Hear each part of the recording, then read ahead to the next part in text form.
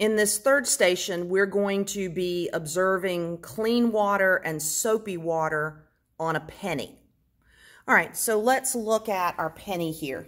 We notice that our penny, if we look at it and if we feel it, there's a little bit of a rim on the edge of our penny. And that's very similar to the rim that's on the edge of a cup. All right, so here's our clean water that we got out of our tap. And we can see here that this clean water very easily makes a nice drop as we squeeze our pipette. So we're going to come down here to our penny, and we're going to carefully see how many drops of water we can add to our penny. So one, two, three, four, five, six, seven, eight, nine, ten, eleven, twelve, thirteen, fourteen. So it took 14 drops.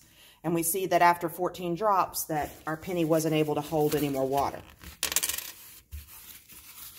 All right, so if we were to look at why that happens, we notice here that as we put our drops of water on our penny and we get our penny all the way filled up with water, we notice that if we look at it from the side, we can actually see that dome of water build up there on that penny.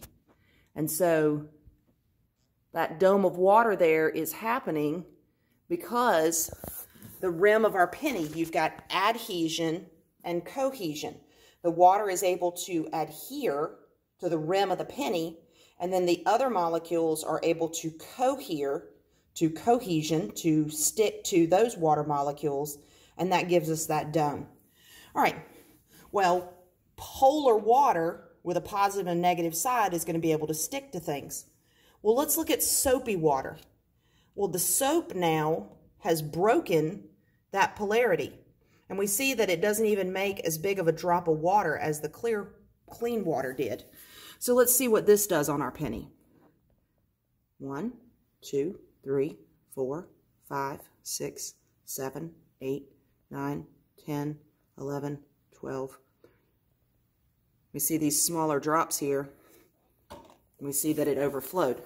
But if we look at our penny here, notice that we don't have that same dome of water on this penny as we did on our clean water penny.